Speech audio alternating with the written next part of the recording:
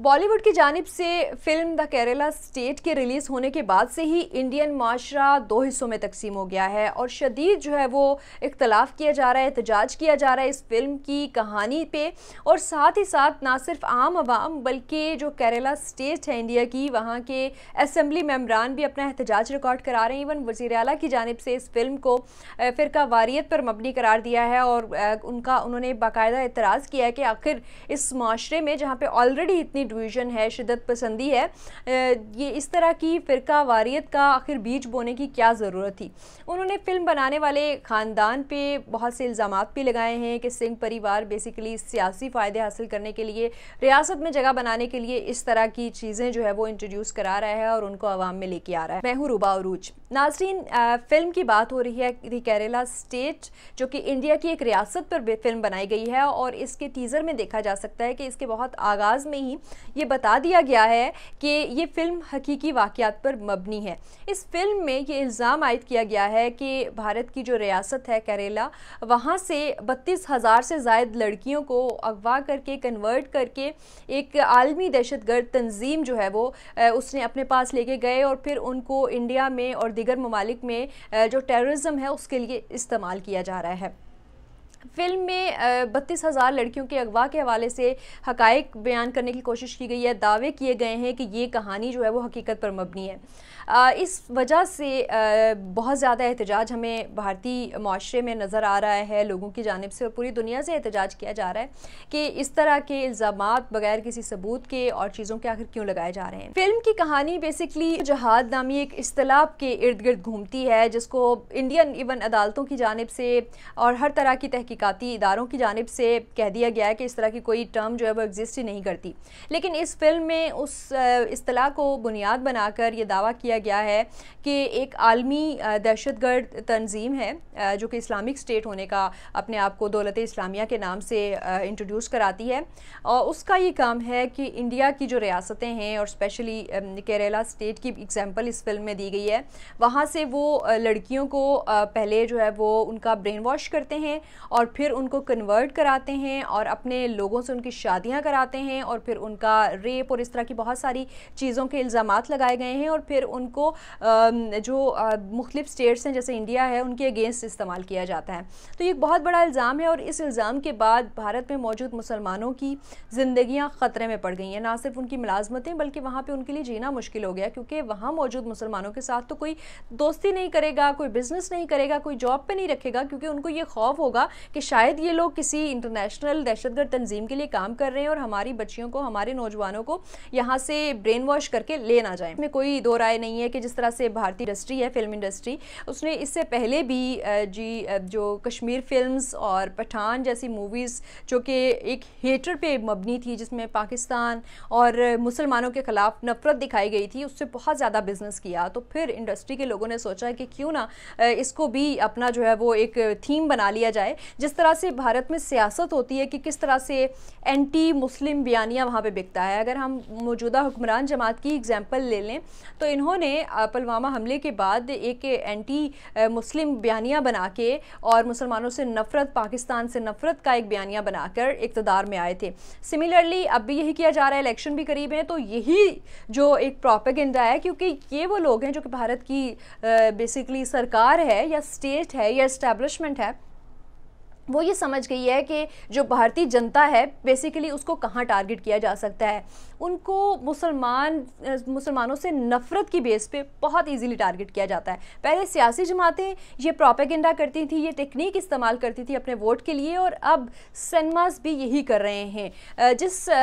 Group की जानब से या जिस ख़ानदान की जानब से मूवी बनाई गई है, सिंह परिवार के नाम से वो वहाँ पर फ़ेमस है। उन्होंने भी इसी टेक्निकल पॉइंट को हिट करते हुए एक मुसलमानों से नफ़रत एक पाकिस्तान से नफ़रत और पूरी दुनिया में इस्लामोफोबिया का जो खौफ है एक हिंदुओं के दिल में डाल दिया है और उनको ये यकीन दिला दिया है कि इनसे नफ़रत करना बहुत ज़रूरी है। ये दहशत गर्द हैं इन, ये दुनिया के लिए ख़तरा है। और इस चीज़ पे जो आपका एक हिंदू कम्युनिटी से ताल्लुक़ रखने वाला एक आम आदमी है, वो बहुत आसानी से आपकी तरफ़ आ जाता है, आपकी तरफ़ अट्रैक्ट हो जाता है। तो इस टेक्निकल पॉइंट को फ़िरका वारियत को, नफ़रत को इस्तेमाल किया जा रहा है हिंदू कम्युनिटी के ख़िलाफ़।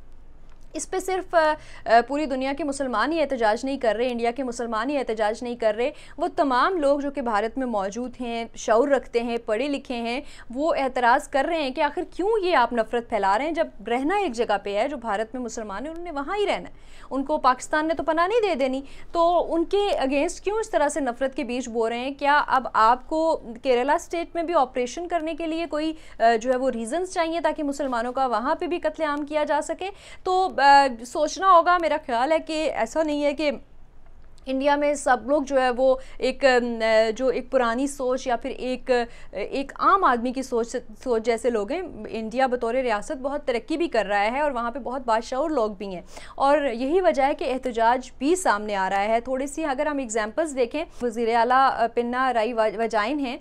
उन्होंने इल्ज़ाम आयद किया है कि सिंह परिवार और फ़िल्म बनाने वाले जो है वो फ़िरका वारियत के जहरीले बोझ, जो जहरीले बीज हैं वो बो रहे हैं। इवन के सियासी जमात कांग्रेस के एमपी शशि थरवर ने ये अनाउंसमेंट की है कि अगर कोई भी इंसान पूरी दुनिया से ये साबित कर दे कि करेला रियासत से बत्तीस हज़ार नौजवान लड़कियों का अगवा और उनको कन्वर्ट कराया गया तो वो उसको एक करोड़ रुपए का इनाम देंगे। दूसरी जानब जो फ़िल्म के प्रोड्यूसर हैं, विपल शाह और इवन जो ख़ानदान है जिसने ये फ़िल्म प्रोड्यूस की है, वो लोग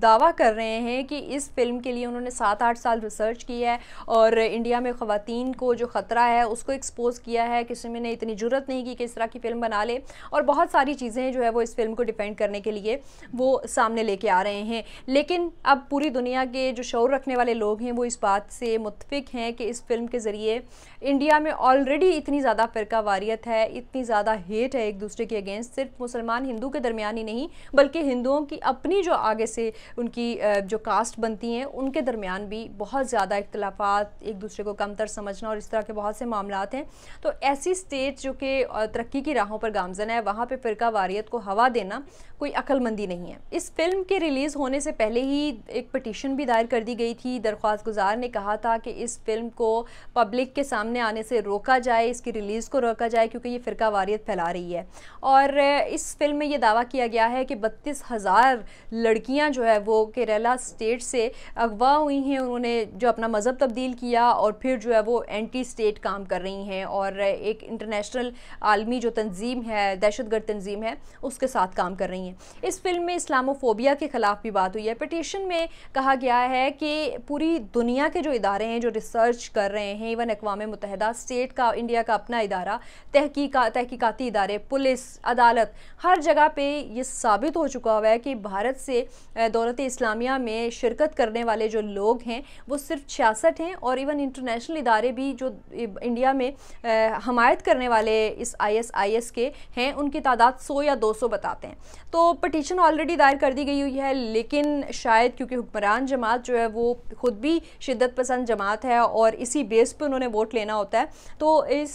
मूवी को रिलीज़ कर दिया गया और फिर जो है वो अब वहाँ पे मुसलमानों के लिए एक ख़तरा जो है वो पैदा हो गया है और हर कोई इनसिक्योर फील कर रहा है। सिर्फ़ मुसलमानों के लिए ख़तरा नहीं है। इंडियंस भी, भारत भी जो अपने मज़हब को प्रैक्टिस करते हैं जो हिंदू हैं, वो भी बहुत ज़्यादा इनसिक्योरिटी महसूस करते हैं क्योंकि अगर उनके साथ कोई कोलीग या उनका पार्टनर या कोई मुस्लिम होगा तो उससे वो कभी भी उस पर ट्रस्ट नहीं कर पाएँगे क्योंकि उससे ये ख़तरा होगा कि भाई ये अगर मेरे साथ किसी सूरत भी अटैच होता है तो कोई पता नहीं मेरे बेटे, मेरी बेटी, मेरी बहन, मेरे भाई को वर्गला के आईएसआईएस के हवाले कर दे तो काफ़ी जो सिचुएशन ऑकवर्ड भी है और यहाँ पे जो स्क्रिप्ट राइटर्स हैं बॉलीवुड के स्पेशली जो कि एक नाम बना चुकी थी इंडस्ट्री में अपना एक फ़िल्म इंडस्ट्री अब आखिर किस तरफ़ आ गई है? क्यों वो सियासी जो है वो ज़ोर ज़ोर या दबाव का शिकार हो रही है? और क्यों वही जो है वो पिन पॉइंट इस्तेमाल किया जा रहा है? हिंदू जो बेसिकली एक मज़हब परस्त लोग हैं, उनको पिन करने के लिए पिंच करने के लिए मुसलमानों से नफ़रत और इस्लामोफोबिया और पाकिस्तान के ख़िलाफ़ मुहिम जोई। ये सारी सिचुएशन या फिर ये सारे हथियार इस्तेमाल करके क्या एक मरतबा फिर से वोट लेने की कोशिश की जा रही है? या फिर जो है वो मकसद सिर्फ़ एक बड़े लेवल पे ब्लॉकबस्टर फ़िल्म को दुनिया के सामने लाना है?